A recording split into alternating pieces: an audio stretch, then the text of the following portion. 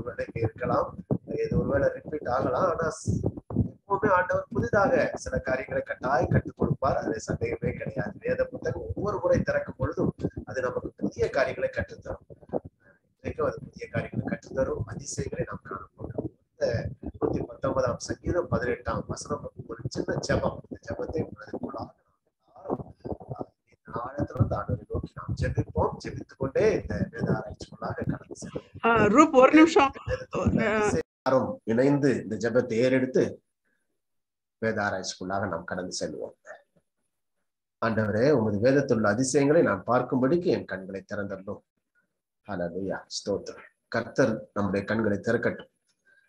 இந்த எஸ்தர் புத்தகம் நன்றாக மீகாலக்கா சொன்னது போல இது எல்லாருக்கும் பரிச்சயமான ஒரு புத்தகம். சண்டே ஸ்கூல்ல இருந்தே நம்ம படித்திருக்கிறோம் நமக்கு எல்லாம் தெரிந்த புத்தகம் தான். இருந்தாலும் இதுல இருக்கக்கூடிய சில ஆழங்களை நாம் பார்க்க போகிறோம். அது உண்மையாகவே ஆச்சரியமான வழிகளை நமக்கு காட்டும். அதுல சந்தேகமே கிடையாது. சில விஷயங்கள் புதிதாக இருக்கும். நம்ம பார்க்காத இது வரைக்கும் தெரிந்து கொள்ளாத காரியங்களை இப்போ நான் இதுக்கென்று திரும்பி ஆயத்தம் பண்ணும்பொழுது இன்னும் சில புதிய காரியங்களை நான் கற்றுக்கொள்ள கர்த்தர் கிருபை செய்தார். கர்த்தருக்கு ஸ்தோத்திரம்.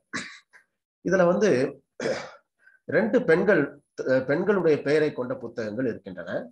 ரூத் ஒன்று எஸ்தர் ஒன்று. நமக்கு நன்றாக தெரியும். ரூத் புத்தகம் ஒரு மீட்பை குறித்த புத்தகம். இதை கூட நான் கடந்த காலத்துல பைபிள் ஸ்டடியில எடுத்திருக்கிறேன். ரூத்தின் புத்தகம். ஒரு குடும்பம். அதன் மூலமாக ஒரு மீட்பர் அதிலிருந்து பிறக்கிறார். மீட்பை கொண்டு வருகிற ஒரு குடும்பம். அதை அங்கே நம்ம பார்க்கிறோம். இயேசு கிறிஸ்து ரூத்தின் சரித்திரத்துல வருகிறார். ரூத்தினுடைய அந்த ஜீனியாலஜில வம்ச வரலாறு நீங்க பாத்தீங்கன்னா ரூத்தினுடைய பேர் அங்க இருக்கும். சோ ரூத்தினுடைய குடும்ப அந்த வம்சத்துல இயேசு கிறிஸ்து வருகிறார் மீட்பர் வருகிறார் ஒரு குடும்பம் அங்கே காக்கப்படுகிறதை நாம் அறிந்திருக்கிறோம். இந்த எஸ்தர் புத்தகம் ஒரு தேசத்தை அதுவும் தேசத்தில் இருக்கக்கூடிய யூதர்களை பாதுகாப்பதை குறித்த ஒரு புத்தகம். ஆண்டவர் எப்படி கரிசனையோடு யூதர்களை பாதுகாக்கிறார் என்பதை இந்த புத்தகத்திலே நாம் அறிந்து கொள்கிறோம். அதுதான் சாராம்சம். என்ன சாராம்சம்? யூதர்களை அழிக்க முயற்சி நடக்கிறது திட்டங்கள் தீட்டப்படுகிறது.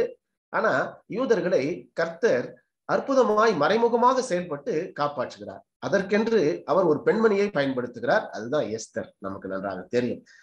இந்த லெஃப்ட் சைட்ல போட்டிருக்கோம் பாருங்க. எஸ்தரும் ரூத்தும் ஸ்லேவ்ஸ் டர்ன் டு சேவியர்ஸ் அவங்க ரெண்டு பேருமே அடிமைகளாக தான் ஏறக்குறைய அடிமைகளாக தான் இருக்கிறார்கள்.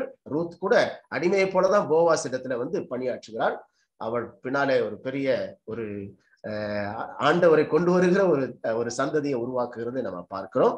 அதே போல எஸ்தரும் ஒரு அடிமையாக தான் பிடித்து கொண்டு போகப்பட்டு இருக்கிறார் சொல்ல போனா ரொம்ப பரிதாபமான ஒரு ஆரம்பம். எஸ்தருடைய ஆரம்பம் அவங்களுக்கு அப்பா அம்மா இல்லை இல்லையா? யார் அவரை பார்த்து கொண்டிருந்தது? மொர்தேகாய் தான். மொர்தேகாய் என்பது பெரியப்பா மகன் அவருடைய கசின் என்று சொல்லலாம். அந்த கசினால பார்த்து கொள்ளப்பட்ட ஒரு நிலைமை எவ்வளவு பரிதாபமான ஒரு நிலைமை பாருங்க. அது மட்டுமல்ல சரித்திர ஆசிரியர்கள் சொல்லுகிறார்கள் எஸ்தர் கண்களுக்கு முன்பாகவே அவருடைய பெற்றோரை கொன்று இவளை ஆஹ் பலவந்தப்படுத்தி கொண்டு வந்திருக்கிறார்கள். சிறை கைதியாக பாபிலோனுக்கு கொண்டு வந்தார்கள் என்று சரித்திரம் சொல்லுகிறது பாபிலோனிலிருந்து அப்புறம் அவர்கள் பெர்சியாவுக்கு வந்திருக்கிறார்கள். இப்படி அவருடைய சரித்திரம் இருந்ததாக சொல்லப்படுகிறது. ஆஹ் அதுல முக்கியமானது எஸ்தருடைய கண்களுக்கு முன்பாகவே அவருடைய தாயையும் தகப்பனையும் கொன்று போட்டு இவனை கொண்டு போயிருக்கிறார்கள். அந்த காலத்துல சிறை கைதிகளாக வாலிபர்களை ஞானம் உள்ளவர்களை தானியல்லாம் அப்படிதானே? தானியல் ஷாத்ராக் மேஷா காபேத் நெகோ இவங்கெல்லாம் நல்ல ஞானம் உள்ள வாலிபர்களை அவர்கள் சிறை கைதிகளாக கொண்டு போய் விடுவார்கள். ஆனால் அவருடைய தாய் தகப்பன் மாதிரி கொன்று போட்டு விடுவார்கள். ஏன்னா அவங்களால பிரயோஜனம் இல்லை. யா யாரெல்லாம் பிரயோஜனமா இருப்பாங்களோ அவங்களெல்லாம் சிறை கைதிகளாக கொண்டு போவார்கள். அப்படி சிறை கைதியாக கொண்டு போகப்பட்ட பெண்மணி தான் இந்த எஸ்தர் பெண்மணி. ஆனா அந்த எஸ்தரை ஆண்டவர் பயன்படுத்துகிறார். ஹாலா லூயா இருக்கிற இடத்துல இருந்து ஆண்டவரை நாம் ஸ்தோத்தரிப்போம். ஆண்டவர் யாரை வேண்டுமானாலும் பயன்படுத்தலாம். அடிமைகளை பயன்படுத்தலாம். நம்ம வீட்டுல வேலை செய்கிறவர்களை பயன்படுத்தலாம். நமக்கு அறிமுகமாகாதவர்களை ஆண்டவர் பயன்படுத்தலாம். பல விதங்களில ஆண்டவர் பயன்படுத்துவார். அவர் அவருடைய இதை நம்மளால என்ன செய்ய முடியாது? கிரகிக்கவே முடியாது. அப்படி ஆண்டவர் அற்புதங்களின் தேவை சரி. இந்த எஸ்தர் புத்தகத்தை ஒரு சுவாரஸ்யமான ஒரு புத்தகம் ஒரு சினிமா ஒரு நாவல் போல இதை இருபது நிமிஷத்துல படிச்சிடலாம். நான் படிச்சு பார்த்திருக்கிறேன். அதனாலதான் சொல்றேன் இருபது நிமிஷத்துல ஆறு அமர உட்காந்து நீங்க படிச்சா கூட இருபது நிமிஷத்துல இதை நீங்க படித்து முடித்து விடலாம். கருத்திற்கு ஸ்தோத்திரம். நல்ல சுவாரஸ்யமா இருக்கும். நீங்க ஒவ்வொரு ஒவ்வொரு சாப்டர் ஆரம்பிக்கும் போதும் புதுசா இன்ட்ரடியூஸ் ஆகும். ஒரு ரொம்ப அற்புதமா இருக்கும். ஒவ்வொரு கதாபாத்திரத்தையும் அவர் கொஞ்சம் கொஞ்சமா இன்ட்ரடியூஸ் பண்ணுவாரு. மொரதேக்காய ரெண்டாவது ரெண்டாவது அதிகாரத்துல இன்ட்ரடியூஸ் பண்றாரு. மூணாவது அதிகாரத்துல ஆமான இன்ட்ரடியூஸ் பண்ணுவாரு. அப்படி அந்த கதை எழுதினவர் ரொம்ப அழகா அதை எழுதுவதை நாம் பார்க்க முடியும். இதுல தைரியமான ஒரு அழகிய கதாநாயகி எஸ்தர் அப்புறம் கதாநாயகன். சோ இது வந்து ஒரு ஒரு சினிமா அல்லது நாவல் புத்தகத்துல இருக்கிறது போல ஒரு அருமையான கதை. நம்ம படிக்கிறதுக்கு ரொம்ப விறுவிறுப்பா இருக்கக்கூடிய ஒரு கதை. நம் கோபத்துக்கு ஆளான ஒரு வில்லனுக்கு இருக்கிறார். அதுதான் ஆமான் நமக்கு தெரியும். அப்புறம் விறுவிறுப்பான நிகழ்வுகள் நல்ல மனிதனுக்கு குறை கொலை மிரட்டல் நீங்க பாத்தீங்கன்னா முருதேகாய்க்கு கொலை மிரட்டல் வருகிறது. இதெல்லாம் சாதாரணமாக வரக்கூடிய இந்த கதைகளில வரக்கூடிய காரியங்கள். எல்லாம் வயலன்ஸும் இருக்குது. எல்லாம் இருக்கக்கூடிய ஒரு இது. கடைசியில பாத்தீங்கன்னா மங்களகரமான நல்ல முடிவு. கடைசியில கொண்டாட்டத்தோட முடிகிறது நமக்கு தெரியும். ஒரு நல்ல ஒரு பூரியும் பண்டிகையோடு இந்த புத்தகம் முடிகிறது என்பது நமக்கு தெரியும். சரி. இது சரியா பேர் நிறைய பேர் என்ன சொல்றாங்கன்னா இது வந்து செக்யூலர் புக் தானே. இதுல வந்து இதை ஏன் இதுல சேர்த்தாங்க? இது சேக்ரெட் புக்கா இது பரிசுத்த வேதாத்துல ஒரு புத்தகமா சேர்க்கலாமா? சேர்க்கக்கூடாதா? என்பது பெரிய ஒரு என்ன சொல்றது ஒரு வாதமாக இருந்தது விவாதமாக இருந்தது. இல்ல இது வந்து வெறும் யூத குலத்தின் மேன்மையை மட்டும் நோக்கமாக கொண்ட கடவுளின் பெயர் இல்லாத புத்தகம். எனவே மற்ற புத்தகங்களுக்கும் இதற்கும் மலைக்கும் மடுவிற்கும் இடையில் உள்ள வேறுபாடு இருக்குது. இதுல வந்து இதை இதுல வைக்கவே கூடாதுன்னு சொல்லி பண்டிதர் டிரைவர் என்பவர் சொல்லியிருக்கிறார். அவர் புத்தகமே எழுதியிருக்கிறார். எஸ்தர் புத்தகம் பைபிள்ல இருக்கக்கூடாது என்று அவர் விவாதம் வைத்திருக்கிறார். அதே அதை விட முக்கியம் நீங்க பாத்தீங்கன்னா மார்டின் லூத்தர் அருமையான பக்திமான். அவரே கூட என்ன சொல்லியிருக்கிறாருன்னா எஸ்தர் புத்தகம் வேத புத்தகத்திற்கு தேவையற்ற புத்தகம் என்று சொல்லியிருக்கிறார். ஏனென்றால் அதுல வெறும் யூத குலத்தினுடைய பெருமைக்காக போடப்பட்டிருக்கிற நிகழ்ச்சிகள் தான் அதுல இருக்குது. ஆண்டவரை பத்தி எதுவும் இல்லை அதனால தேவையில்லை என்று சொல்லக்கூடிய ஒரு காரியத்தை பார்க்கிறோம். ஆனா அன்னைக்கு இருந்த பக்தர்கள் எப்படியோ இதை இதுல சேர்த்து விட்டார்கள். அறுபத்தாறு புத்தகங்களில எஸ்தர் புத்தகம் ஒன்றாக சேர்த்து விட்டார்கள். இன்றைக்கு நம்ம அதை ஆராய்ச்சி செய்து கொண்டு இருக்கிறோம். அதுல நிறைய ஆழமான சத்தியங்கள் இருக்கிறதை பார்க்க முடிகிறது. சொல்ல போனா அது வந்து ஒரு ப்ராஃபட்டிக் புக்கு கூட சரித்திர புத்தகம் மட்டுமல்ல. எஸ்தர் புத்தகம் ஒரு தீர்க்கதரிசன புத்தகம். நக நடக்க போகிற காரியங்களை கூட ஒரு நிழலாட்டமாய் அங்கே நாம் பார்க்கிறோம். எப்படி? ஆண்டவராக இயேசு கிறிஸ்து மனவாட்டி சபையை தெரிந்து கொள்ள வரப்போகிறாரோ அதே போல அங்க எஸ்தர் புத்தகத்துல நடக்கிற காரியங்களை நம்ம பார்க்க முடியும். சோ இது வந்து நல்ல வேலை இதை வந்து யாரும் எலிமினேட் பண்ணல. இந்த புத்தகத்தை தள்ளி வைத்து விடவில்லை. இது வேத புத்தகத்துல ஒரு புத்தகமாக அதை ஏற்றுக்கொண்டார்கள். இவர் மார்டின் லூத்தர் சொன்னதையோ பண்டித டிரைவர் சொன்னதையோ அதுக்கு பின்னால் இன்னொருத்தர் சொன்னார். ஃபைஃபர் என்பவர் அவரும் சொல்லியிருக்கார் such a secular book hardly deserves a place in the canon of the scriptures இந்த ஸ்கிரிப்சர்ல இதை சேர்க்கவே கூடாது என்று அவரும் சொல்லியிருக்கிறார். எதுக்காக இதெல்லாம் நம்ம சொல்றோம்னா அப்படி எதிர்ப்புகளின் மத்தியில கடைசியாக சேர்க்கப்பட்ட ஒரு புத்தகம் தான் எஸ்தர் புத்தகம். பழைய ஏற்பாட்டில கடைசியாக இணைக்கப்பட்ட ஒரு புத்தகம் இந்த எஸ்தர் புத்தகம். இதனுடைய சிறப்புகள் அல்லது வினோதங்கள் என்ன அப்படின்னு பார்த்தோம்னா ரொம்ப ஆச்சரியமான வினோதமான காரியம் இருக்குது. ஏன் இதை சேர்க்கக்கூடாதுன்னு சொன்னாங்கன்னா இதுல கர்த்தர் அல்லது தேவனுடைய பெயர் எங்கேயுமே இல்லையே வெளிப்படையா எங்கேயும் காணவே இல்லையே என்று சொன்னார். காட்ஸ் நேம் இஸ் ஆப்சென்ட் ஆனா நீங்க பாத்தீங்கன்னா ஆண்டவருடைய செயல்பாடுகள் இருக்கிறது. ஆனா அவருடைய பெயர் இல்லை. அது கூட வெளிப்படையாக இல்லை. நம்ம பின்னால பார்க்க போறோம். அவருடைய பெயர் ஆண்டவருடைய பெயர் இங்க மறைமுகமாக இருக்கிறது என்பதுதான் ஆழமான ஒரு சத்தியம். நாம் தெரிந்து கொள்ள போகிற சத்தியம். வெளிப்படையாக இதுல இல்லை. ஆனா மறைமுகமாக ஆண்டவருடைய பெயர் இருக்கிறது. நம்ம பின்னால இன்னைக்கே நம்ம அதை பார்ப்போம். சரி. அடுத்தது உன்னத பாட்டையும் சொல்லுவாங்க. உன்னத பாட்டிலையும் ஆண்டவருடைய பெயர் இல்லாத புத்தகங்கள் இரண்டு என்று சொல்வார்கள் ஒன்னு உன்னத பாட்டு இன்னொன்று இந்த எஸ்தர் புத்தகம். ஆனா உன்னத பாட்டுல எட்டாம் அதிகாரம் ஆறாம் வசனத்துல நீங்க எப்ரேய பைபிள்ல பாத்தீங்கன்னா யா என்று போடப்பட்டிருக்கு. அவர் என்கிற வார்த்தை அந்த எட்டாம் அதிகாரம் ஆறாம் வசனத்தை எடுத்து பாத்தீங்கன்னா அதுல ஆஹ் எட்டாம் அதிகாரம் ஆறாம் வசனத்தை நான் வாசிக்கிறேன். பாருங்க என் ஜனத்தின் மேல் வரும் பொல்லாப்பை நான் எப்படி பார்க்கக்கூடும்? உன்னத பாட்டு உன்னத பாட்டு எட்டாம் அதிகாரம் ஆறாம் வசனம். நான் வாசித்தர்றேன்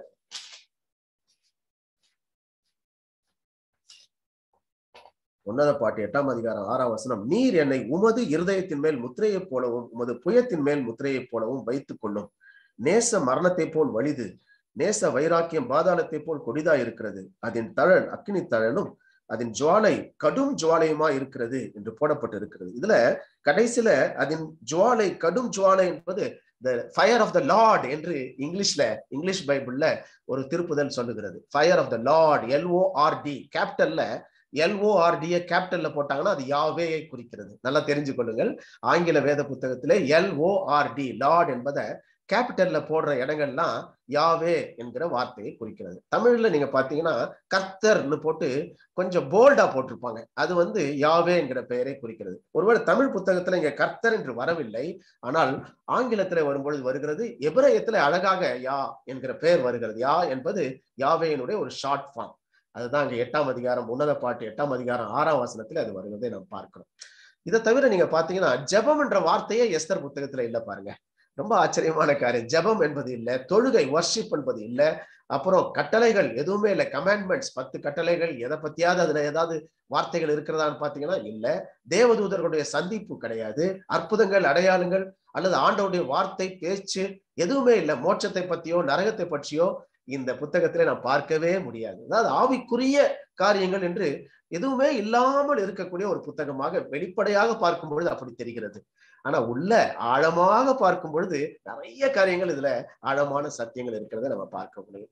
So no supernatural incident supernatural இன்சிடென்ட்டே இல்லை. ஏன்னா இன்சிடென்ட் இருக்கிறது. அது ஆண்டவருடைய இன்சிடென்ட் ஆண்டவர் ஒரு அழகா நடத்துகிறார். நம்ம உள்ள படிச்சு பாத்தீங்கன்னா உங்களுக்கு தெரியும். அந்தந்த டைம்ல கரெக்டா ஒன்னொன்னா நடந்துகிட்டே வரும். ஆண்டவர் நினைக்கிற காரியம் ஆண்டோடைய சித்தம் அப்படியே அழகாக இந்த புத்தகத்துல நிறைவேறுவதை நம்ம பார்க்க முடியும். ஒரு பக்கம் ஆண்டவருக்கு விரோதமாக செயல்பாடுகள் ஆண்டவருடைய பிள்ளைகளுக்கு விரோதமான திட்டங்கள் சூழ்ச்சிகள் நடந்து கொண்டே இருக்கும். ஆனா ஆண்டவர் வேற ஒரு பக்கத்துல அழகா செயல்பட்டு கொண்டே இருப்பார். தூக்கு மரம் தயாராகி கொண்டே இருக்கும் முருதேகாய்க்கு. ஆனா அடுத்த பக்கம் ஆண்டவர் செயல்பட்டு முருதேகாய தூக்கி வைப்பார். இல்ல?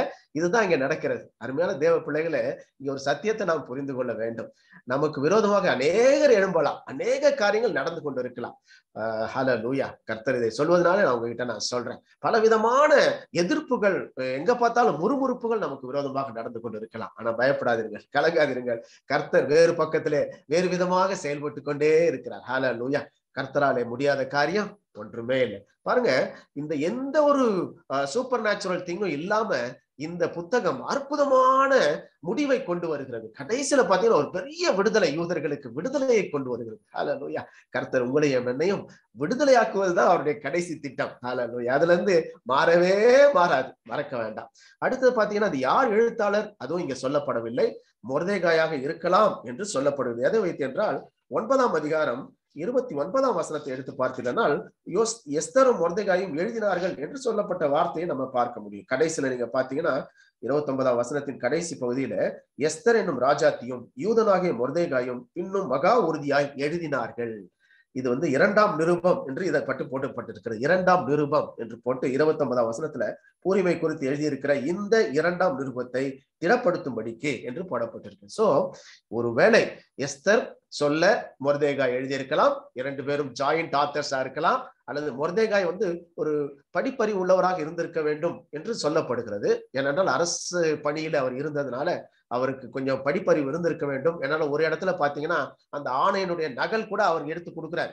அப்போ அந்த ஆணையெல்லாம் அவர் கையில இருக்குதுன்னா அவர் படிப்பறிவு உள்ள மனிதர் அதனால ஒருவேளை முருதேகாய் எழுதி இருக்கலாம் என்று சொல்லப்படுகிறது. ஆனா வேதத்துல அப்படி எதுவும் இல்லை.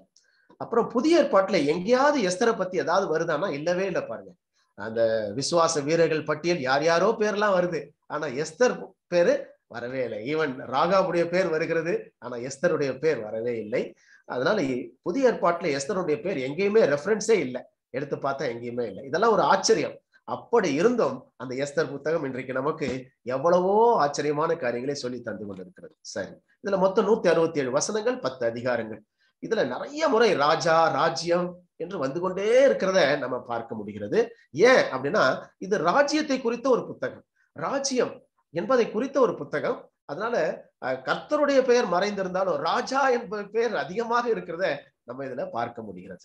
அதுல ஒரு முன்கதை சுருக்கம்னு சொல்லுவாங்களே அந்த கதை சுருக்கம்னு பாத்தீங்கன்னா யூதர்களை அழிக்க எடுக்கப்பட்ட முயற்சி படுதோல்வி அடைகிறது. அதான் சிம்பிள் இந்த கதையினுடைய ஒரு ஒட்டுமொத்த இது வந்து கதை இல்ல நிகழ்ச்சி. இதுக்கு சரித்திர ஆதாரங்கள் நிறைய இருக்குது. அதை நம்ம கடைசியில பார்க்க போறோம். நிறைய சரித்திர ஆதாரங்கள்லாம் பார்க்க போறோம். நல்ல ஆச்சரியமான காரியங்களை நம்ம தெரிந்து கொள்ள போகிறோம். சரி. இதுல வந்து படுதோல்வி அடைகிறார்கள். யூதர்களை அழிக்க வேண்டும் என்று முயற்சி செய்தவர்கள் படுதோல்வி அடைந்து விட்டார்கள். பாத்தீங்கன்னா ஆமான் வந்து அதே தூக்கு மரத்துல அவன் தான் தொங்க வேண்டியதாகிவிட்டது.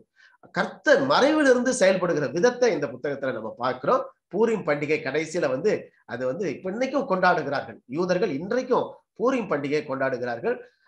அது எவ்வளவு ஆச்சரியமா இருக்குதுன்னு பாருங்க. இந்த சரித்திரம் உண்மையானது என்பதற்கு அதுவே ஒரு அத்தாட்சி. இன்னைக்கும் பூரிம் பண்டிகை யூதர்களாலே கொண்டாடப்படுகிறது. மார்ச் மாதம் ஏப்ரல் மாதங்கள்ல அது கொண்டாடப்படுகிறது. சரி.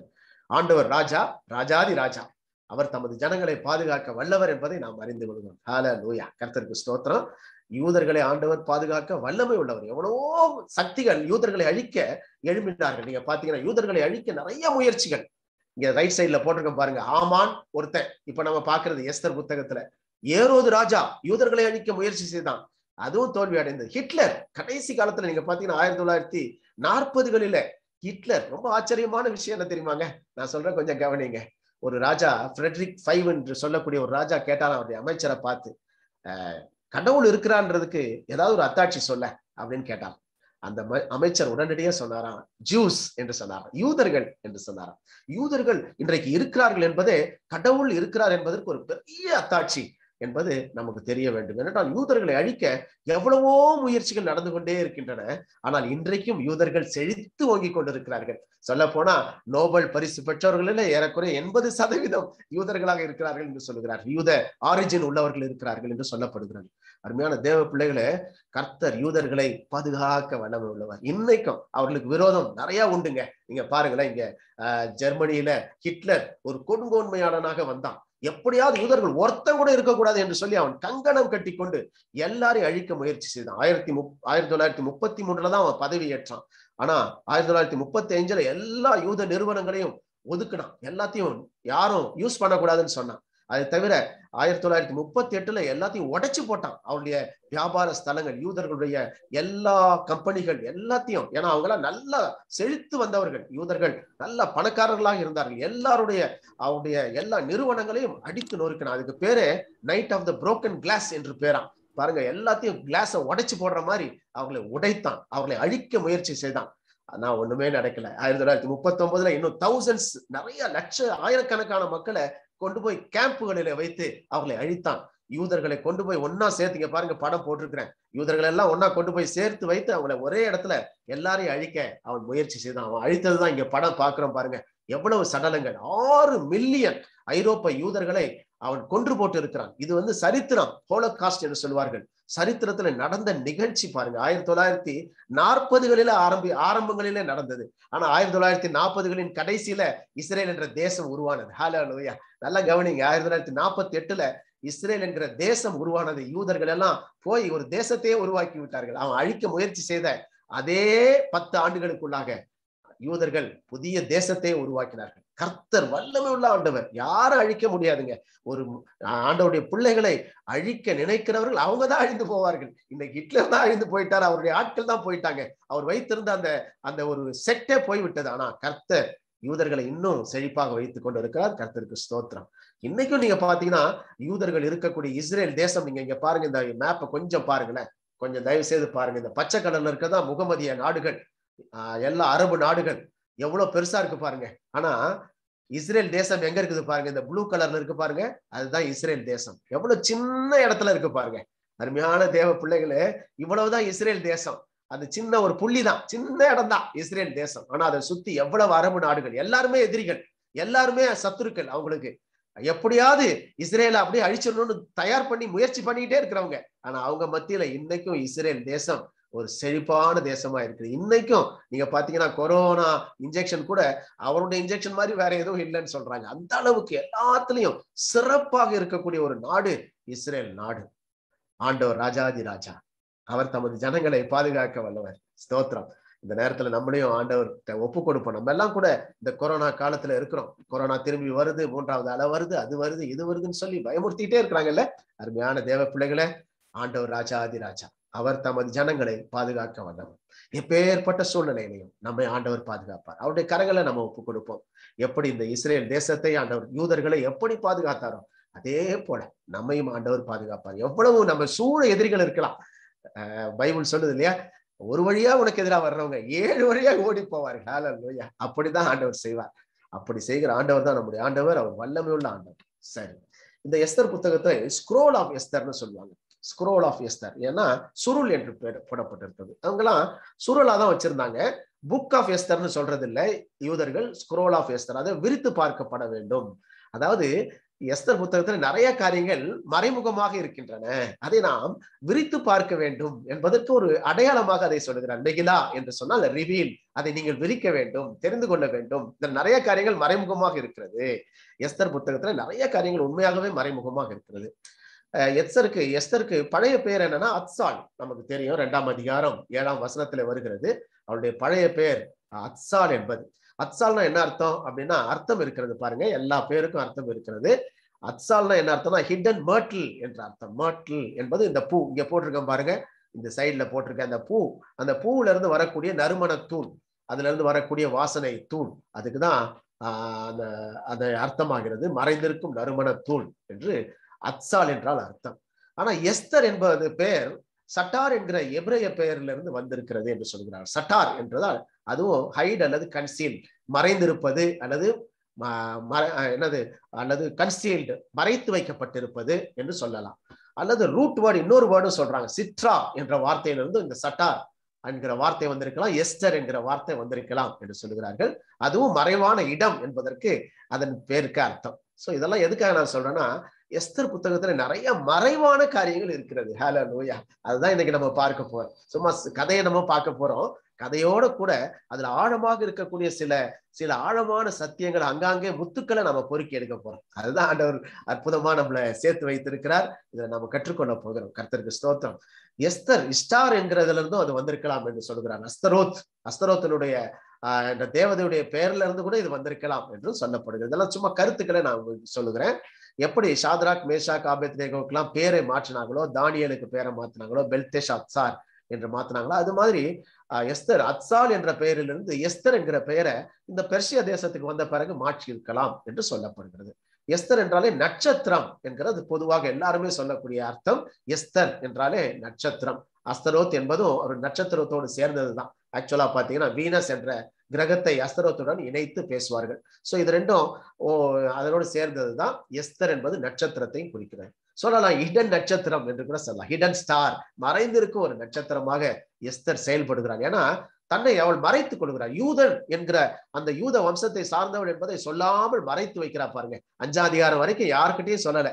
அப்புறம் தான் அவங்க சொல்ல ஆரம்பிக்கிறாங்க. சோ அப்படி ஒரு மறைமுகமாக செயல்படுகிற ஒரு காரியங்களை இந்த புத்தகத்தில் நம்ம அதிகமாக பார்க்கிறோம். கர்த்தருக்கு ஸ்தோத்திரம். கர்த்தரும் கூட என்ன செஞ்சீங்கன்னா மறைமுகமாக செயல்படுகிறார். இதுல இந்த புத்தகம் இந்த சரித்திரத்துல பாத்தீங்கன்னா கர்த்தர் மறைமுகமாக செயல்படுகிறார். யூத மக்கள் புற தேசத்துல சிறை கைதிகளாக இருந்த காலகட்டத்துல தானியலின் சரித்திரமும் எஸ்தரின் சரித்திரமும் நடந்தது. தானியல் நீங்க பாத்தீங்கன்னா பாபிலோன்ல ஒரு அடிமையாக கொண்டு போகப்பட்டவன் அங்கே ஒரு பிரைம் மினிஸ்டராக ஆண்டவர் உயர்த்தினார். இங்கே எஸ்தர் அடிமையாக பெர்சியாவுக்கு வந்து சேர்ந்தவள்.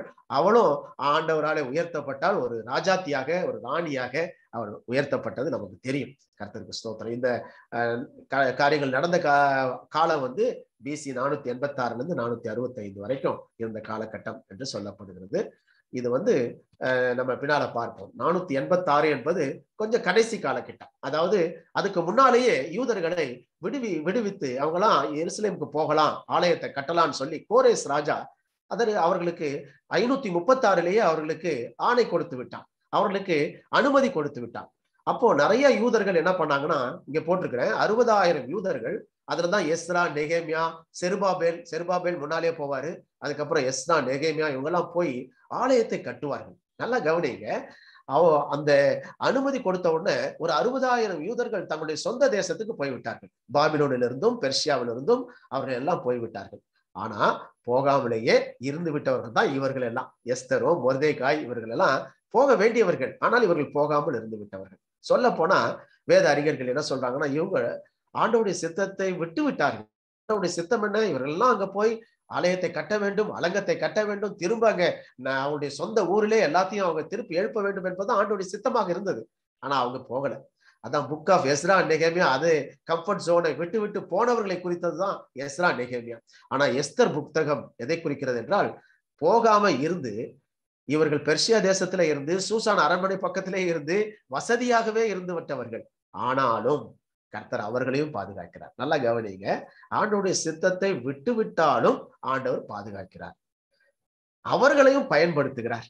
அவர்கள் மூலமாக ஒரு சரித்திரம் படைக்கிறார். இதுதான் ஆண்டவருடைய ஒரு வல்லமையான ஒரு காரியம். அதனால நம்ம தவறு செய்யலாம்னு அர்த்தம் கிடையாது. பா- சித்தத்தை விட்டு இருக்கலாம்னு அர்த்தம் கிடையாது. ஆண்டோடைய சித்தம் ஆண்டவர் என்ன சொல்றாரோ அதை நம்ம செய்யணும். கட்டாயமா இவங்க செய்யாம தான் இருந்துட்டாங்க. அது தவறுதான். ஆனாலும் கர்த்தர் அவர்களையும் பாதுகாக்கிறார். அதை தான் நம்ம தெரிந்து கொடுக்கணும் ஆண்டவுடைய அன்பு ஒரு சிறப்பான அன்பு இல்ல? அவருடைய அன்புக்கு அளவே கிடையாது. கர்த்தருக்கு ஸ்தோத்திரம். இது ஏன் ஆண்டோடைய பேர் இல்லைன்றதுக்கு இதுதான் காரணமா இருக்கலாமோ என்று சொல்லுகிறார்கள். உபாகமம் முப்பத்தி ஓராம் அதிகாரம் பதினெட்டாம் வசனத்தை எடுத்து பாத்தீங்கன்னா உபாகமம் முப்பத்தி ஓராம் அதிகாரம் பதினெட்டாம் வசனத்துல என்ன சொல்லப்பட்டிருக்குன்னா இப்படி ஆண்டவர் மறை தன்னை மறைத்துக் கொள்ளுவார். ஏன்னா வேற தேவர்களை வணங்கும் பொழுது ஆண்டவர் மறைத்துக் கொள்கிறவராய் இருக்கிறார் என்பதை அந்த உபாகமம் முப்பத்தி ஓராம் அதிகாரம் பதினெட்டாம் வசனத்துல இருக்கிறது. நான் வாசிக்கிறேன். அவர்கள் வேறே தேவர்களிடத்தில் திரும்பி போய் செய்த சகல தீமைகளின் நிமித்தமும் நான் அந்நாளிலே என் முகத்தை மறைக்கவே மறைப்பேன்.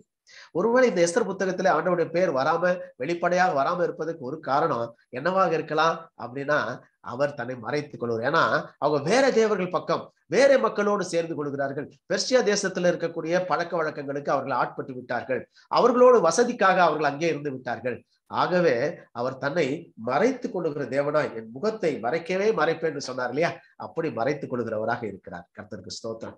வேறே தேவரிடத்துல திரும்பி போய் சகல தீமைகள் நிமித்தமும் அவங்க இருந்ததுனால நான் முகத்தை மறைச்சிட்டேன் அப்படின்னு சொல்றாரு. ஒருவேளை அதனால ஆண்டவுடைய பேர் இந்த புத்தகத்துல வெளிப்படையாக எழுதப்படவில்லையோ? ஒரு ஒரு இது ஒரு நுவான்சஸ்ன்னு சொல்லுவாங்க. இது எழுத்தாளர்கள் கையாளக்கூடிய சில என்ன சொல்றது ஒரு டெக்னிக் அவங்க கையாளக்கூடிய ஒரு டெக்னிக் கர்த்தருடைய பேர் இல்லாதபடி பார்த்து வெளிப்படையா தெரியாது. ஆனா உள்ள நல்லா ஆழமா பாத்தீங்கன்னா அவருடைய பேர் இருக்கிறது. இதைதான் இங்க பார்க்க போறோம். பாருங்க. எங்கெல்லாம் அவருடைய பேர் இருக்குது கர்த்தருடைய பேர் இருக்கிறது என்பதை நம்ம இதுல பார்த்து கொள்ளலாம். ஹிடன் அக்ராஸ்டிக்ஸ் என்று போட்டிருக்கிறேன். இந்த வேத பு- இந்த வேத புத்தகத்திலே நிறைய ஹிடன் அக்ராஸ்டிக்ஸ் இருக்குது. நல்லா கவனிங்க. ஒரு ஒரு காரியத்தை சொல்ல போறேன். இப்ப சமீபத்துல நான் தெரிந்து கொண்டது. நானு இப்போ கொஞ்சம் படிச்சுக்கிட்டே இருக்கிறேன் இல்லையா? அது தெரிந்து கொண்டது. ஏசாய் ஐம்பத்தி மூன்றாம் அதிகாரம் நம்ம எல்லாருக்கும் தெரியும். இல்ல? நம்முடைய அக்கிரமங்களுக்காக அவர் நொறுக்கப்பட்டு இல்ல? நம்முடைய பாவங்களுக்காக அப்படி வரும் இல்லையா? ஐம்பத்தி மூன்றாம் சங்கி ஏசாயுடைய ஐம்பத்தி மூன்றாம் அதிகாரம். அற்புதமான அதிகாரம். அது சர்வன்ட் சாங் என்று சொல்வார்கள். ஐம்பத்தி மூன்றாம் அதிகாரத்துல அப்படி வரும். ஆஹ் அவர் நம்முடைய மீறுதல் நிமித்தம் அவர் காயப்பட்டு நம்முடைய அக்கிரமங்கள் நிமித்தம் அவர் நொறுக்கப்பட்டார். நமக்கு சமாதானத்தை உண்டு பண்ணும் ஆக்கின அவர் மேல் வந்தது. இந்த ஐம்பத்தி மூன்றாம் அதிகாரம் ஏசாயா அதுல நிறைய மறைந்திருக்கிற பெயர்கள் இருக்கிறதாம். கொஞ்சம் கவனிங்க. பன்னிரெண்டு சீசனுடைய பேர் இருக்குது. பன்னிரெண்டு சீச்சருடைய பேரும் இருக்குது. அதுல ஒருத்தர் பேர் இல்லை. யாருன்னா? யூதாஸ் காரியத்து பேர் இல்லை. ஆனா புதிதாக தேர்ந்தெடுக்கப்பட்ட மத்தியாசுடைய பேர் இருக்கிறது. அப்போ ஆச்சரியமான காரியங்கள் மறைந்து இருக்கிறதா அந்த ப பன்னிரெண்டு வசனம் தான் இருக்குது. ஐம்பத்தி மூணாம் அதிகாரத்துல ஏசாய ஐம்பத்தி மூன்றாம் அதிகாரத்துல பாத்தீங்கன்னா பதி பனிரெண்டு வசனங்கள் தான். ஆனா இந்த பனிரெண்டு வசனங்கள்ல இந்த சீஷருடைய பெயர்கள் எல்லாம் மறைந்து இருக்கிறதா அதெல்லாம் ஆச்சரியம். நான் அதை எடுத்து உண்மையாவே செக் பண்ணி பார்த்தேன். அது உண்மையாகவே இருக்கிறத பார்க்கும்போது நம்ம மனசு அப்படியே என்ன சொல்லுது? இந்த பைபிளே வந்து ஒரு ஆச்சரியமான ஒரு காரியம். இல்ல? எ- பைபிளை நீங்க எடுத்து வச்சு பாத்தீங்கன்னா நிறைய காரியங்களை கண்டுபிடிக்க முடிகிறது. அதுல இங்கேயும் நீங்க பாத்தீங்கன்னா ஆண்டோட பேர் எஸ்தர் புத்தகத்துல மறைமுகமாக மறைந்திருக்கிறத நம்ம பார்க்க முடியும். ஹalleluya. கர்த்தருக்கு ஸ்தோத்திரம்.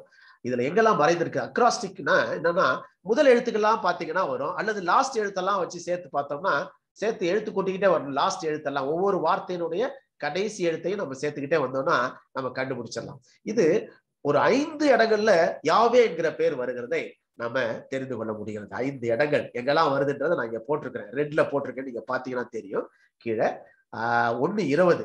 எஸ்தர் புத்தகம் ஒன்றாம் அதிகாரம் இருபதாம் வசனத்துல வருகிறது. இது வந்து இதுல தமிழ் பைபிள்ல வராது. ஒருத்தர் பார்த்துட்டு என்கிட்ட கேட்டார் என்னங்க ஒண்ணுமே வரலையே அப்படின்னாரு. நான் இங்கிலீஷ் பைபிள்லையும் பார்த்தேங்க. இங்கிலீஷ் பைபிள்லையும் வரலங்கன்னாரு. இல்ல இல்ல இங்கிலீஷ் பைபிள்லையும் வராது தமிழ் பைபிள்லையும் வராது. இது ஹீப்ரூ பைபிள்ல வரும். அது மறைந்திருக்கிறது என்று நம்ம சொல்லுகிறோம். ஹீப்ரூ பைபிள்ல தான் எழுதப்பட்டது. அந்த எழுதப்படும் பொழுது எழுதினவர் எப்படி மறைத்து வைத்து எழுதியிருக்கிறார் என்பதை தான் நம்ம தெரிந்து கொள்கிறோம். இங்க பாத்தீங்கன்னா ஒன்னா அதிகாரம் இருபதாம் வசனத்தை நான் பின்னால் நம்ம அதை பார்ப்போம். அந்த ஃபர்ஸ்ட் லெட்டர் எல்லாம் சேர்த்து வச்சா அந்த நாலு வார்த்தைகளை ஃபர்ஸ்ட் லெட்டரை வச்சு எழுதணும்னா ஹெச் வி ஹெச் ஒய் என்று வருகிறது தலைகளா வருது. தலைகளானா திருப்பி வருகிறது. எப்படி வரணும்? ஒய்ஹெச் விஹெச் என்பதுதான் யாவே. ஒய் ஹெச் விஹெச் அல்லது எபிரேய எழுத்துக்கள் சொன்னா யோத் ஹே வாவ் ஹே என்று சொல்வார்கள் எபிரேய எழுத்துக்கள் எபிரேய ஹீப்ரு படித்தவர்களுக்கு நிச்சயமா தெரியும். உங்க குரூப்ல கொஞ்சம் பேர் ஹீப்ரு கூட படிச்சாங்க. எனக்கு ஞாபகம் இருக்கிறது. அதுல யோத் ஹே வாவ் ஹே இதுதான் யாவே. இந்த நான்கு எழுத்து தான் நாலே நாலு எழுத்து தான். நம்ம பின்னால் அதை பார்ப்போம். இந்த நாலு எழுத்து மறைமுகமாக இங்க இருக்கிறத நம்ம பார்க்க முடிகிறது. கரெக்டா ஃபர்ஸ்ட் எழுத்தை மட்டும் கூட்டி பாத்தீங்கன்னா அது வருகிறது. ஒ- இருபதாம் வசனத்துல வருகிறது. அஞ்சாதிகாரம் நாலாம் வசனத்துல நேரா வருது. ஒய்ஹெச் விஹெச்னு வருகிறது. ஒன்னாதிகாரம் இருபதாம் வசனத்துல இதுக்கு முந்தின சொன்னேன் இல்லையா? அதுல ஹெச் வி ஹெச் ஒய் அதாவது திருப்பி வருகிறது. தலைகீழாக வருகிறது. ஆனா அஞ்சாதிகாரம் நாலாம் வசனத்துல ஒய்ஹெச் விஹெச் என்று வருகிறது. அஞ்சாதிகாரம் பதிமூன்றாம் அதிகார வசனத்துல ஹெச் வி ஹெச் ஒய் என்று வருகிறது. திருப்பி வருகிறது. ஒய்ஹெச் விஹெச் தான் வரணும். ஆனா மாத்தி வருது. ஏன் அப்படி வருது? அப்படின்னு நீங்க பாத்தீங்கன்னா அது சொன்னவங்க வந்து அந்த இடத்துல நீங்க பாத்தீங்கன்னா இந்த வந்த வசனங்கள் எல்லாம் நீங்க குறிச்சு வச்சு பாத்தீங்கன்னா முக்கியமான வசனங்கள்ல தான் இந்த பேர் வருகிறது. யாவேனுடைய பேர் முக்கியமான வசனங்கள்ல வருது. அதுவும் யார் சொல்றாங்களோ அதவங்களை பொறுத்து அது தலைகளாக மாறுகிறது. யூதர் அல்லாதவர்கள் பேசும் பொழுது அது தலைகளாக மாறுகிறது. இந்த மெபுகான் என்பவன் பேசுகிறான். அங்க அது தலைகளாக மாறுகிறது. ஹெச் வி ஹெச் ஒய் என்று வருகிறது. ஆனா எஸ்தர் ராஜாத்தி பேசும் பொழுது அது ஒய்ஹெச் விஹெச் என்றே வருகிறது. ஒய்ஹெச் விஹெச் என்பதுதான் யாவே. அந்த ஒய்ஹெச் விஹெச் என்று வந்தா நேரடியா வந்தது. ஹெச் வி ஹெச் ஒய் என்று வந்தால் திருப்பி வருகிறது தலைகளாக வருகிறது. பாருங்க அதுலயும் ஒரு ஒரு நுணுக்கத்தை நம்ம பார்க்க முடிகிறது. ஹலோ லூயா கர்த்தர் அற்புதமானவர். இந்த வேத புஸ்தகத்துல பயங்கரமான ஆழங்கள் இருக்கிறதை நாம் புரிந்து கொள்ள முடிகிறது. அதே மாதிரி ஏழாம் அதிகாரம் ஏழாம் வசனத்துல இந்த எழுத்தாளனே எழுதுகிறார். அப்போ ஒய்ஹெச் விஹெச் என்று வருகிறது. யாவே என்கிற பேர் வருகிறத நம்ம பார்க்க முடிகிறது. நான் பின்னால் நான் அதெல்லாம் உங்களுக்கு எபிரைய எழுத்துக்கள்லேயே போட்டு காமிக்கிறேன். இன்னைக்கே கூட அது ஒன்றும் வந்த இன்னைக்கு இல்லை நாளைக்கு வரும்னு நினைக்கிறேன். ஒவ்வொரு எழுத்தாக நம்ம பார்த்தோம்னா நம்ம கண்டுபிடிச்சிடலாம். இப்படி எபிரைய வசனத்தையே பார்த்து நம்ம தெரிந்து கொள்ள முடியும். அப்படி நான் அது பின்னால் உங்களுக்கு சொல்ல போறேன். அது நீங்க தெரிந்து கொள்ள முடியும். ஆனா இப்போ நம்ம தெரிந்து கொள்ள வேண்டியது என்னன்னா ஆண்டோடைய பெயர் மறைமுகமாக இந்த புத்தகத்துல எழுதப்பட்டு இருக்கிறது அதுல சந்தேகமே கிடையாது. நல்ல கிளியரா இருக்குது. ஏன்னா அதே மாதிரி மேசியா என்ற பெயரும் இருக்கிறது. மெசியாக் என்ற பெயர் வருகிறது. யெசுவா இயேசு கிறிஸ்துடைய பெயர் யெசுவா. அதுவும் இதுல மறைந்து இருக்கிறதை நம்ம பார்க்க முடிகிறது. எல் ஷடாய் என்கிற பெயர் உங்களுக்கு எல்லாம் தெரியும். எல் ஷடாய் ஆல் மைட்டி சர்வ வல்லவர். இந்த பேரும் இதுல மறைந்து இருக்கிறத பார்க்க முடிகிறது. அது ஈக்வி டிஸ்டன்ட் லெட்டர் என்ற முறை மூலமாக அதை பார்க்கும் பொழுது அதுல நம்ம மறைந்திருக்கிறதை காண முடிகிறது. சோ நம்ம முக்கியமா தெரிந்து கொள்ள வேண்டியது ஒருவர் இதெல்லாம் புரிந்து புரியலங்க எங்களுக்கு பிரதர் அப்படின்னு நீங்க சொன்னீங்கன்னா முக்கியமா நம்ம தெரிந்து கொள்ள வேண்டியது எஸ்தர் புத்தகத்துல ஹீப்ரு பைபிள்ல எழுதுனதுல அவர்கள் மறைமுகமாக ஆண்டவுடைய பெயரை வைத்திருக்கிறார்கள் மறைத்து வைத்திருக்கிறார்கள். வெளிப்படையாக கர்த்தர் என்கிற பெயர் இந்த புத்தகத்துல வரவில்லை. சரி. இப்போ இதனுடைய பின்னணியை கொஞ்சம் நம்ம தெரிந்து கொள்வது நல்லது. எஸ்தர் புத்தகத்துக்கு முன்பாக எஸ்தர் சரித்திரத்துக்கு முன்பாக என்ன நடந்தது என்று பார்த்தா ஒரு மூன்று யுத்தங்கள் நடந்தது மூன்று போர்கள். அதுல ஒரு போர் மேரத்தான் என்கிற போர் நடந்தது. நமக்கு தெரியும் மேரத்தான் ரேஸ் நீங்க கேள்விப்பட்டிருப்பீங்க. ஒலிம்பிக்ல எல்லாம் மேரத்தான் ரேஸ் என்று வைப்பார்கள். அது கிமு நானூத்தி தொண்ணூறுலே நடந்தது. அப்போ தரியு தான் ராஜாவாக இருந்தார். பெர்ஷியாவுடைய ராஜாவாக தரியு இருந்தார். அவர் தரியு ராஜாவாக இருக்கும் பொழுது பெர்ஷியா தோல்வி அடைந்து விட்டது. யாருக்கு எதிராக? கிரேக்கர்களுக்கு விரோதமாக அவர்கள் அவர்கள் போரிட்டார்கள். அதில் தோல்வி அடைந்து விட்டார்கள். கிரேக்கர்கள் ஜெயித்து விட்டார்கள். கிரேக்கர்கள் ஜெயித்து விட்ட உடனே அந்த அதுல ஒரு போர் வீரன் அவன் பேர் தான் ஃபீடிபேடஸ் இந்த ஃபீடபேடஸ் என்கிற இந்த போர் வீரன் இருபத்தாறு மைல் ஓடி போய் எங்கிருந்து? மாரத்தான் என்கிற ஒரு இடத்திலிருந்து அவன் கிரேக் கிரீஸ் நகரம் கிரீஸ்ல ஏத்தன்ஸ் நகரத்து தலைநகரம். அதற்கு ஓடி வந்து ஜெயித்து விட்டோம் என்று சொல்லிவிட்டு அப்படியே செத்து போயிட்டானான் ஓடி வந்து இருபத்தாறு மைல் ஓடி வந்திருக்கிறான் பாருங்க. அதுதான் இன்னைக்கு மேரத்தான் ரேஸ் என்று இன்றைக்கும் ஒலிம்பிக்ல மற்ற போட்டிகளில இன்றைக்கும் அது வைத்திருக்கிறார்கள். மேரத்தான் ரேஸ் என்பது ஒன்று இருக்கும். இது இருபத்தாறு மைல் அவன் ஓடி இருக்கிறான். அவன் எங்க இருந்து எங்க ஓடினான் அப்படின்னு நீங்க பாத்தீங்கன்னா அவன் மரத்தான் என்கிற ஒரு இடத்துல அங்கதான் பேட்டில் நடந்தது. அங்க ஜெயித்து விட்டார்கள். கிரேக்கர்கள் ஜெயித்து விட்டார்கள். பெர்சியர்கள் தோற்று விட்டார்கள். அப்போ கிரேக்கன் ஆகிய அந்த பீடிபெடஸ் ஓடி வந்து தன்னுடைய சொந்த நகரத்துக்கு ஓடி வந்திருக்கிறான். ஓடியே வந்திருக்கிறான் இருபத்தாறு மைல். ஓடி வந்து நாங்கள் ஜெயித்து விட்டோம் நாம் ஜெயித்து விட்டோம் என்று சொல்லிவிட்டு அப்படியே செத்து போயிட்டானோ அதனால அது அவனுடைய நினைவாகவே மேரத்தான் ரேஸ் என்று இன்றைக்கும் வைத்திருக்கிறார்கள். சரி. அடுத்த போர் வந்து தெர்மோபைலே போர். இதெல்லாம் வந்து இந்த எஸ்தர் புத்தகத்துக்கு கொஞ்சம் முன்னாலே எஸ்தர் சரித்திரத்துக்கு கொஞ்சம் முன்னாலே நடந்த சில போர்கள். இந்த நானூத்தி எண்பதுல கிமு நானூத்தி எண்பதுல இது நடந்தது. இதுலயும் ஏறக்குறைய பெர்சியர்கள் தோல்வி அடைகிற சூழ்நிலை வந்து விட்டது. ஏன்னா ஒரு பதினஞ்சு மீட்டர் அகலம் இங்க பாருங்க இங்க படம் போட்டிருக்கிறேன். ஒரு சின்ன கால்வாய் அதுக்குள்ள போய் போரிட வேண்டிய நிலைமை வந்து விட்டது. அந்த கிரேக்கர்கள் ரொம்ப புத்திசாலிகள். அவங்க அழகா இவங்களை பெர்சியர்களை பெர்சியர்கள் ஒரு மூணு லட்சம் பேர் இருந்திருக்கிறாங்க. ஆனா கிரேக்கர்கள் ஏழாயிரம் பேர் தான் இருந்தாங்க அந்த தெர்ம பயிலே போர்ல. ஆனா கிரேக்கர்கள் இவங்களை அப்படியே நிக்க வச்சுட்டாங்க. அந்த காலவாயில அப்படியே இவங்களால ஒண்ணும் பண்ண முடியல. இவங்க மூணு லட்சம் பேர் இருந்தாலும் உள்ள போறது பத்து பேர் தான் போக முடியும். அப்படிப்பட்ட ஒரு சின்ன பதினஞ்சு மீட்டர் இடைவெளி இருக்கக்கூடிய ஒரு காலவாய். அதுல இவங்க எல்லாரும் போக முடியாது. எத்தனை பேர் லட்சம் பேர் இருந்தாலும் அவங்க கொஞ்சம் பேர் தான் போக முடியும். அந்த கொஞ்சம் பேர் அந்த கிரேக்கர்கள் கொண்டு போட்டுருவாங்க. அப்படியே அவங்க ஜெயித்து கொண்டே இருந்தார்கள். கடைசியில ஒரு கருங்காலி ஒருவர் போய் சொல்லி கொடுத்து இதுல பெர்சியா கொஞ்சம் வெற்றி பெற்று ஏத்தன்ஸ் நகரை கைப்பற்றினார்கள். ஆனால் அடுத்து ஒரே சில ஒரு சில மாதங்கள்ல சலாமிஸ் யுத்தம் என்கிற யுத்தம் கடலில் நடந்தது. அது அதுவும் அதே கிமு நானூத்தி எண்பதுலேயே நடந்தது. கொஞ்சம் ஒரு சில மாதங்கள் கழித்து அது கடலிலே நடந்த முதல் யுத்தம் என்று சொல்கிறார்கள். உலக சரித்திரத்திலேயே கடலில் நடந்த முதல் யுத்தம் இந்த சலாமிஸ் யுத்தம். இதுல பாத்தீங்கன்னா கம்ப்ளீட்டா தோல்வி அடைந்து விட்டார்கள் பெர்ஷியர்கள். அப்போ இந்த எஸ்தர் சரித்திரம் எந்த காலகட்டத்திலே நடக்கிறது என்றால் முழு தோல்வி அடைந்து விடுகிறார்கள். தோல்வி அடைந்த பிறகு அப்ப இருந்த ராஜா ஜெர்செக்ஸ் என்ற ராஜா. அவன் தான் இப்போ ஆகாஷ் வேறு என்று எஸ்தர் புத்தகத்திலே நம்ம பார்க்கிறோம். ஆகாஷ் வேறு என்கிற பெயர் காமன் பேர் எப்படி?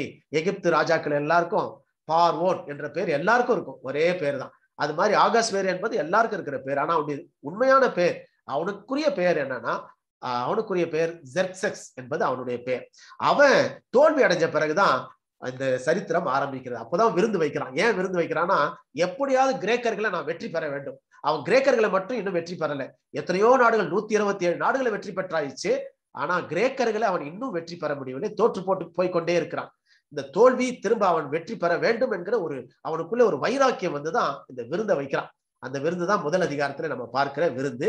அதை நம்ம பார்க்க போகிறோம். பின்னால் நம்ம பார்ப்போம். அந்த விருந்து வைத்து எல்லா நாடுகளையும் சேர்க்கிறான். சேர்த்து தனக்கு சப்போர்ட்டுக்காக எப்படியாவது கிரேக்கர்களை வெல்ல வேண்டும் என்பதற்காக அவன் செய்த விருந்துல தான் இந்த சரித்திரமே ஆரம்பிக்கிறது. சரி. இந்த எஸ்தர் புத்தகத்தினுடைய அமைப்புக்கு வருவோம். எஸ்தர் புத்தருடைய அமைப்பு என்ன அப்படின்னு பாத்தீங்கன்னா ரொம்ப அழகா இருக்கு. சீர்மையா ஒரு சிமெட்ரிக்கா இருக்கும். முதல் அஞ்சு அதிகாரங்கள் சூழ்ச்சி. மொத்த பத்து அதிகாரம் நான் சொன்னேன். முதல் அஞ்சு அதிகாரங்கள் சூழ்ச்சி. அடுத்த அஞ்சு அதிகாரங்கள் ஆறாம் அதிகாரத்திலிருந்து பத்தாம் அதிகாரம் வரைக்கும் மகிழ்ச்சி. அப்படியே மாறுது. இல்ல? காரியம் மாறுதல் ஆயிற்று. ஹால லோயா கர்த்தர் மாற்றுகிறவர். இது நம்ம அழகா அதே மாதிரி இந்த சரித்திரத்தை அப்படியே இதை இதை பார்க்கும்போதே நம்ம பார்த்திடலாம். நீங்க பாத்தீங்கன்னா முதல் அதிகாரமும் கடைசி அதிகாரம் பத்து அதிகாரமும் ஒரே கலர் போட்டிருக்கிறேன். ப்ளூ கலர் முதல் அதிகாரம் ப்ரீலாக் முன்னுரை. கடைசி அதிகாரம் பத்தாம் அதிகாரம் எபிலாக் முடிவுரை. இது நமக்கு தெரியும். முதல் அதிகாரத்துல முன்னுரை அங்கதான் ஃபர்ஸ்ட் ஆரம்பிக்குது. எப்படி இந்த விருந்து வைக்கிறான்றத பத்தி ஒன்னாம் அதிகாரத்துல வருகிறது. இது ஒரு முன்னுரையாக வருகிறது. ஃபீஸ்டிங்ல ஆரம்பிக்கிறது. இங்க பக்கத்துல போட்டிருக்கேன் பாருங்க ஃபீஸ்டிங் சரி கடைசி அதிகாரமும் ஃபீஸ்டிங்ல தான் முடியுது. ஹலோ லூயா கர்த்தருக்கு ஸ்தோத்திரம். நடுவுல தான் ஃபாஸ்டிங் உபவாசம் இருக்கிறாங்க. நமக்கு தெரியும். கதை எல்லாருக்கும் தெரியும் நினைக்கிறேன். தெரியாதவரும் தயவு செய்து இன்னைக்கு ராத்திரி உட்கார்ந்து எப்படியாவது ஒரு இருபது நிமிஷம் செலவு பண்ணி இந்த கதையை நீங்க விறுவிறுப்பாக படிச்சு முடிச்சிடலாம். நல்லா ஆறு அமரம் அமர்ந்து படிச்சீங்கன்னா கூட அரை மணி நேரத்துல அழகா படிச்சு முடிச்சிடலாம். கர்த்தருக்கு ஸ்தோத்திரம். சரி ரெண்டாம் அதிகாரம் மூன்றாம் அதிகாரத்துல அரசனுடைய முதல் ஆணை வருகிறது. அந்த ஆணை வந்து அழிவின் ஆணைன்னு என்று சொல்லுவோம். அழிவு. யூதர்களை அழிப்பதற்காக அவன் போட்ட ஆணை இரண்டாம் அதிகாரம் மூன்றாம் அதிகாரம் அரசனின் அழிவின் ஆணை என்று சொல்லலாம். அரசனின் முதல் ஆணை. திருப்பி நீங்க எட்டாம் அதிகாரம் ஒன்பதாம் அதிகாரத்துல பாத்தீங்கன்னா நான் மஞ்சள் கலர்ல கொடுத்துருக்கேன். சிமெட்ரிக்கா இருக்கு பாருங்க. அரசனுடைய இரண்டாம் ஆணை அது உயர்வின் ஆணை. யூதர்களை முதல்ல அழிக்கணும்னு போட்டான். அது அடுத்தது யூதர்களை பாதுகாக்கணுன்றதுக்காக அடுத்த ஆணை. சோ எட்டாம் அதிகாரம் ஒன்பதாம் அதிகாரத்துல அந்த ஆணை வருகிறது. சரி. சாப்டர் நாலு அஞ்சுல அதிகாரம் நாலு அஞ்சுல ஆமான் எக்ஸாஸ்பிரேஷன் வித் மொர்தேகாய். ஆமான் வெறுப்படைகிறான். மொர்தேகாயின் மீது வெறுப்படைகிறான். அதான் நாலா அதிகாரம் அஞ்சாம் அதிகாரத்துல ஒரு சூழ்ச்சி பண்றான். மொர்தேகாயை கொல்லணும்.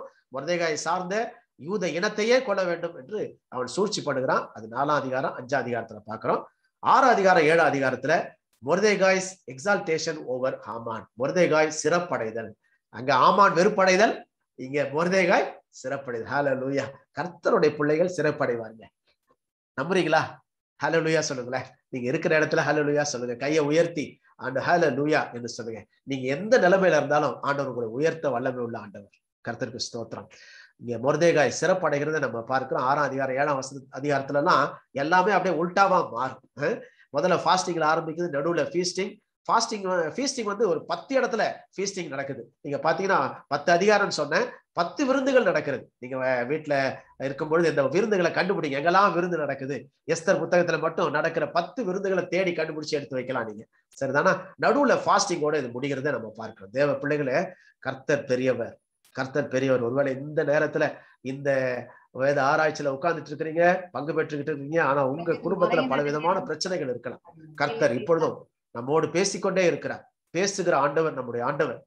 ஆஹ் இப்பொழுதும் பேசிக்கொண்டு இருக்கிறார் அவரு கைவிடாத நேசர். எல்லாவற்றையும் காரியங்களை மாற்றுகிற ஆண்டவர். இப்ப என்ன இப்படி இருக்குது? இப்படியே இருந்துருவோமா? இருக்க மாட்டோம்ல இல்ல? நீங்க பாருங்க யோபு அப்படியே இருந்துட்டாரா? இல்லையே. மாறிட்டாரு. மோசை அப்படியே இருந்துட்டாரா? இல்லையே. மாறிட்டாரு. அவர் ஆடு பேசிட்டே இருந்தாரா? இல்லையே.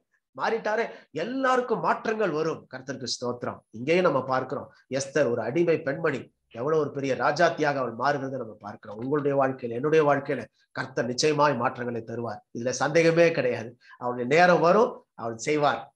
ஹலலுயா சொல்லுங்க இருக்கிற இடத்துல. ஹலலுயா சொல்லுங்க. கர்த்தருக்கு ஸ்தோத்திரம். ஒன்னா அதிகாரம் நாலு வசனங்களை மட்டும் இன்றைக்கு நம்ம அப்படியே பார்க்க போகிறோம். முதல் நான்கு வசனங்களை பார்த்து நம்ம முடிக்க போகிறோம் கர்த்தருக்கு ஸ்தோத்திரம். கர்த்தர் நல்லவர் அவர் கைவிடாத நேசர். ஆஹ் இது வந்து கிரீஸ் நாட்டை அதாவது கிரேக்க நாட்டை கைப்பற்ற எடுத்த முயற்சி தான். இந்த விருந்தே. ஒன்னா அதிகாரம் நாலு வசனங்களை இங்க நான் அப்படியே போட்டிருக்கிறேன். நீங்க படிச்சுக்கோங்க. தயவு செய்து உங்க கையில வேத புத்தகம் இருக்கும். நீங்க திறந்து வைத்து இங்கேயும் நான் இதுலயே போட்டிருக்கேன் இந்து தேசம் முதல் எத்தியோப்பியா தேசம் வரைக்கும் என்று ஆரம்பிக்கிறது. ஹலோயா வேதத்துல ஒரு புத்தகம் இந்தியாவுடைய பேர் இருக்கிற புத்தகம்னா இது ஒரு புத்தகம் இருக்கிறது. ஹலோயா இதுலயே ரெண்டு இடத்துல இந்தியா என்கிற பேர் வருகிறத நம்ம பார்க்கணும் இந்து தேசம் இங்கிலீஷ்ல இந்தியானே போட்டிருக்கிறாங்க. இந்த தேசம் முதல் எத்தியோப்பியா வரை. எத்தியோப்பியா என்பது ஆப்பிரிக்காவுடைய கடைசி பகுதி. அதுல இருந்து இந்து தேசம் வரைக்கும் நூத்தி இருபத்தி ஏழு நாடுகள். இவன் எல்லாத்தையும் அரசாண்ட ஆகாஷ் வேறு ஜெர்செக்ஸ் என்கிற பெயரோடு அரசாண்டவன். இவனுடைய இதை இதுல நம்ம பார்க்கிறோம். ஹலோ லூயா எல்லாரையும் கூப்பிட்டு ஒரு பெரிய விருந்து வைக்கிறத ஆஹ் இதுல நம்ம கவனிக்க முடிகிறது. பாருங்க எத்தனை மூன்றாம் வருஷம்னு போடப்பட்டிருக்குது. அவனுக்கு முப்பத்தி மூன்று வயதுல அரியணை ஏறினானா இது கொஞ்சம் பைபிள்ல இல்லாதது சொல்றேன். நீங்க வேணா குறிச்சு வச்சுக்கலாம். இது நான் ஸ்லைட்ல கூட நான் போடல. முப்பத்தி மூன்று வயதுல இந்த ஆகாஷ் வேறு அரியணையிலே உட்கார்ந்தானா மூன்று வருஷம் கழிச்சுன்னா முப்பத்தாறு வருஷம் முப்பத்தாறு வயசுல ஆஹ் மூன்று வருஷம் மூன்று வருஷம் அவன் அரசாட்சியில இருக்கும் பொழுது மூன்றாம் வருஷம் என்று வருகிறது இல்லையா? நீங்க பாத்தீங்கன்னா ஆஹ் மூன்றாம் வருஷம் வரும். அதுல வந்து மூன்றாம் வருஷத்துல தன்னுடைய பிரபுக்களுக்கும் ஊழியக்காரருக்கும் விருந்து பண்ணினான். ஏன்னா அதுக்கு முந்தின வருஷங்கள்ல தோல்வி அடைஞ்சிட்டான். இப்போ அவன் எப்படியாவது கிரேக்க நகரத்தை பிடிக்கணும்னு சொல்லி எல்லாருக்கும் விருந்து பண்றான். விருந்து எதுக்குன்னா எல்லாருடைய சப்போர்ட்டையும் கேட்கறதுக்காக நீங்க பாக்கலாம் இந்த கார் இன்ட்ரடக்ஷன் பண்ணும்போது கார் தொழிற்சாலையில ஒரு விருந்து வைப்பாங்க. புது காரை கொண்டு வரும் பொழுது ஒரு விருந்து வைப்பாங்க. ஏன்னா அதை வாங்குறதுக்கு நிறைய பேரை டெவலப் பண்ணுன்றதுக்காக அது ஒரு அட்வர்டைஸ்மெண்ட் மாதிரி. அதே மாதிரிதான் இங்கேயும் அவன் செய்யறான் இது எத்தனை நாள் நடக்குது? நூத்தி எண்பது நாள். ஆறு மாதங்கள். கடைசி நாலாம் வசனத்துல வருது பாருங்க. அநேக நாளாகிய நூற்றி எண்பது நாள் அளவும் விளங்க செய்து கொண்டிருந்தான். இது வெறும் சாப்பாடு மட்டும் இல்ல விருந்து. விளங்க செய்து கொண்டிருந்தான்னா ஒரு கான்பிரன்ஸ் தன்னுடைய பெருமைகளை அவன் சொல்லுகிறான். தன்னுடைய நாட்டில் இருக்கக்கூடிய நல்ல காரியங்களை அவன் வெளி என்ன சொல்றது? அவன் வெளியரங்கமாக எல்லாருக்கும் சொல்லி எங்களுக்கு இப்படி இருக்குது அப்படி இருக்குன்னு சொல்லி அட்வர்டைஸ்மெண்ட் எல்லாரையும் சேர்க்கிறான் தன்னோடு. அதுதான் செய்கிறான். சரி. இதுல முதல் வார்த்தை இந்து தேசம். இந்த இந்து தேசம் என்ற வார்த்தை எதுல இருந்து வந்திருக்குன்னா ஹொடு என்கிற எபிரைய வார்த்தையிலிருந்து வந்திருக்கிறது. ஹொடுனா என்னன்னா ஸ்பிளண்டர் மகிமை. நல்லா கவனிங்க. கிராண்டியோர் என்று சொல்லுகிறார்கள். அது இந்தியா என்பது நம்ம சாதாரணமா நினைக்கிறோம். ரொம்ப புவர் கண்ட்ரி அப்படின்னு இல்லைங்க. அந்த காலத்துல very rich one of the richest countries அந்த காலத்துல அது பயங்கர ஒரு ஐஸ்வர்யம் நிறைந்த ஒரு நாடாக இருந்திருக்கிறது. அதனாலதான் அதுக்கு பேரு ஸ்பிளண்டர் என்று வைத்திருக்கிறார்கள். ஹிந்தஸ் ஹொடு ஹொடு என்கிறதுல இருந்துதான் ஹிந்து என்கிற வார்த்தை வந்திருக்கிறது. அப்போ ஸ்பிளண்டர் இந்தியாவில் ஆரம்பிக்கும் ஒரு புத்தகம் இரண்டு முறை இது வருகிறது நான் சொன்னேன். நீங்க அதை பார்த்தா கண்டுபிடிச்சிக்கலாம். கர்த்தருக்கு ஸ்தோத்திரம். இந்தியாவை குறித்து வரக்கூடிய ஒரு புத்தகம் எஸ்தர் புத்தகம் இல்லையா? எஸ் ஆண்டவருக்கு இந்தியாவை குறித்த கரிசனை உண்டு. ஹலோ லோயா அதனாலதான் இந்தியாவுடைய பேர் பைபிள்லயே வந்திருக்கிறது. ஆண்டவரை நாம் ஸ்தோத்தரிக்க வேண்டும். கர்த்தருக்கு ஸ்தோத்திரம். இதுல நூத்தி இருபத்தி ஏழு நாடு என்பது இந்த நூத்தி இருபத்தி ஏழு என்பது இந்த நியூமராலஜி பைபிள் நியூமராலஜி என்று ஒரு குரூப் இருக்கிறாங்க அவங்க சொல்றாங்க இது சாராளுடைய வயது. ஒரே ஒரு பெண் பெண்மணியுடைய வயது தான் பைபிள்லயே போடப்பட்டிருக்கு. கவனிங்க இது உங்களுக்கு சொல்ற ஒரு புது துணுக்கு ஒரே ஒரு பெண்மணியுடைய வயசு தான் பைபிள்ல இருக்குது. அது வந்து யாருன்னா சாராளுடைய வயசு. வேற எந்த பெண்மணிக்கும் வயது குறிப்பிடப்படவே இல்லை பைபிள்ல. அப்போ அந்த நூத்தி இருபத்தி ஏழு என்பது ஒரு முக்கியமான எழுத்தாக எண்ணாக இருக்கிறது. நூத்தி எண்பது என்பது ஐசக் ஈசாக்கினுடைய ஆயுசு நாளே குறிக்கிறது. சரி. இப்போ இவங்க எங்க வந்து அமர்றாங்க? அப்படின்னா சூசான் சிங்காசனத்தில் வந்து அமர்ந்தான். ராஜா சூசானின் சிங்காசனத்தில் வந்து அமர்ந்தான் என்று இரண்டாம் வசனத்துல பார்க்கணும்.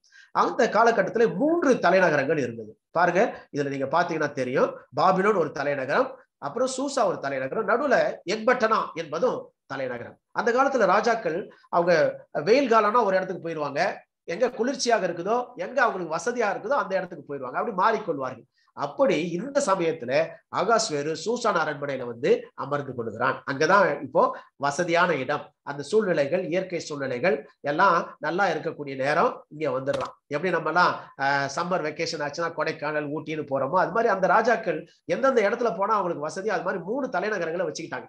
அவங்க மாத்திக்குவாங்க. அவங்க வசதி தானே. அவங்க வசதிப்படி மாற்றிக்கொள்வார்கள். இந்த இந்த மூன்று போர்களுக்கு அப்புறம் தான் இவன் வந்து இப்போ சூசான் அரண்மனையில உட்கார்றான். அதுக்கப்புறம் தான் இந்த விருந்து நடக்கிறது. இந்த ராஜாக்களுடைய பட்டியலை இங்க நான் போட்டிருக்கிறேன். இதுல ஜெர்செக்ஸ் என்பவர் தான் இங்க வந்திருக்கிறார் பாருங்க. நானூத்தி எண்பத்தி ஆறுல இருந்து நானூத்தி அறுபத்தஞ்சு வரைக்கும் இருக்கிறது நான் காட்டுறேன் பாருங்க. அதுக்கு முந்தின அரசன் தரியு தரியு ராஜா. நம்ம தரியுனுடைய மகன் தான் செர்சஸ் தரியு ராஜா என்பது தானியல் புத்தகத்துல கூட நம்ம வாசிப்போம். அதுதான் அந்த தரியு தான். சரி. நம்ம கடைசி கிட்ட வந்துட்டோம். கர்த்த நல்லவர். இந்த சூசான் அரண்மனை இன்னைக்கும் இருக்குது பாருங்க. அந்த அதை கண்டுபிடிச்சிருக்கிறாங்க. அது அரண்மனை இப்போ பார்த்தாலும் ரொம்ப அழகா இருக்குது. அப்படியே அந்த அந்த தூண்கள் எல்லாம் பார்த்தா யாரோ ஒருத்தர் போயிட்டு வந்தவர் என்கிட்ட பேசிட்டு இருக்கும்போது சொன்னார். அந்த தூண்கள்லாம் தான் ஷார்ப்பா இருக்குதான். இன்னும் கூட ஷார்ப்பா இருக்குதான். அப்ப அந்த காலத்துல எப்படி இருந்திருக்கும்? பளிங்கு போல இருந்திருக்கும் இந்த தூணெல்லாம். நீங்க எத்தனை வருஷம் ஆயிடுச்சு? எத்தனையோ ஆயிரக்கணக்கான வருடங்கள் ஆன பிறகு இப்படி இருக்குது. அது ஒரு ஆச்சரியமான ஒரு காரியம் தான் இந்த சூசான் அரண்மனை இதுதான். இது வந்து ஈரான்ல இன்னைக்கு இருக்குது. நீங்க பாத்தீங்கன்னா பெர்ஷியா வந்து ஈரான் பாபிலோன் வந்து ஈராக். நல்லா தெரிஞ்சு கொள்ளலாம். இந்த ஈரானுக்கு பக்கத்துல ஆப்கானிஸ்தான் இருக்குது. இப்போ நமக்கு நடந்துகிட்டு இருக்கு பாருங்க நிறைய சூழ்நிலைகள் பயங்கரமா இருக்குது. அந்த ஈரானுக்கு அடுத்தது அதுவும் ஆப்கானிஸ்தானும் இதோடு சேர்ந்தது தான் அந்த காலகட்டத்துல பெர்ஷியாவோடு சேர்ந்தது தான் ஆப்கானிஸ்தானும். முக்கியமாக ஈரான் தான் ஈரான் பகுதியில தான் ஆப்கானிஸ்தான் சாரி இது பெர்ஷியா இருந்திருக்கிறது. சரி. இப்போ இவன் ஒரு விருந்து வைத்திருக்கிறான். இதுல நூத்தி இருபத்தி ஏழு நாடுகளை சார்ந்தவர்கள் வந்திருக்கிறார்கள். அது நூத்தி எண்பது நாள் நடந்து அப்புறம் ஒரு வாரம் கூடுறான். கடைசியில ஒரு ஏழு நாள் கூட்டி வர நான் வைக்கிறான். இந்த விருந்து ஃபுல்லா என்ன? ஃபுல்லா என்ன வேணுமோ சாப்பிடலான்ற மாதிரி எல்லா விதமான காரியங்களும் நடந்து கொண்டு இருக்கிறது அது வந்து ஒரு தேவனற்ற விருந்து தான். ஆனா அந்த இடத்துலயும் தேவன் மறைமுகமாக செயல்பட்டு கொண்டே இருக்கு நமக்கு தெரியும் இந்த விருந்துல தான் என்ன நடக்குதுன்னு.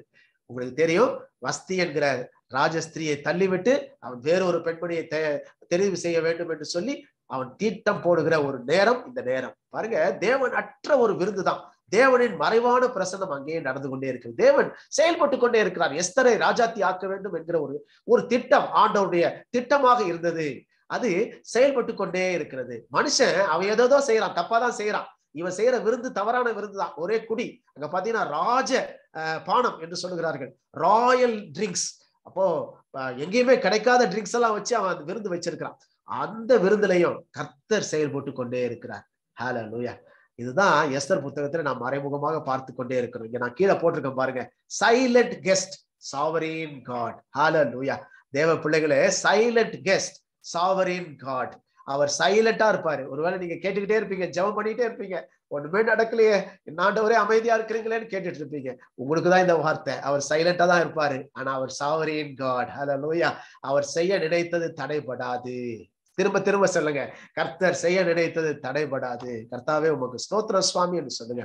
இந்த எஸ்தர் புத்தகத்துல இருக்கிற போல சரித்திர சான்றுகள் வேற எந்த புத்தகத்துக்கும் பைபிள்ல இல்லை ஏன்னா அவ்வளவு சரித்திர சான்றுகள் உள்ள ஒரு புத்தகம். அதனால இது சரித்திரபூர்வமாக நடந்த நிகழ்ச்சிகள். இதுல எந்தவித மாற்று கருத்தும் நமக்கு இருக்க வேண்டிய அவசியமே இல்லை. நான் முடிக்க போறேன். கடைசி ஸ்லைடுக்கு வந்துட்டோம்.